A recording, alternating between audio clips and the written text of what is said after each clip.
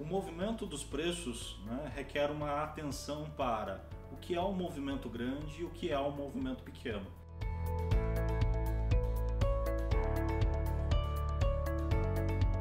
É assim que eu separo pivô e micropivô.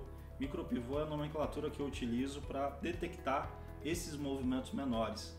Ou seja, através desses movimentos menores eu consigo entender aonde está iniciando o movimento e quando isso acontece num ponto de suporte, essa pode ser uma boa condição de compra e quando isso acontece numa região de resistência, pode ser que ali esteja chegando ao fim momentaneamente da tendência de alta e possivelmente o mercado mude de comportamento para iniciar um processo de correção ou até mesmo, como a gente gosta de chamar, um pullback nos preços. Ou seja, eu fragmento sempre a minha análise entre movimento maior e movimento menor. Isso me ajuda a detectar o então chamado micropivô e também o pivô. Espero que você tenha gostado, um abração e até o próximo vídeo.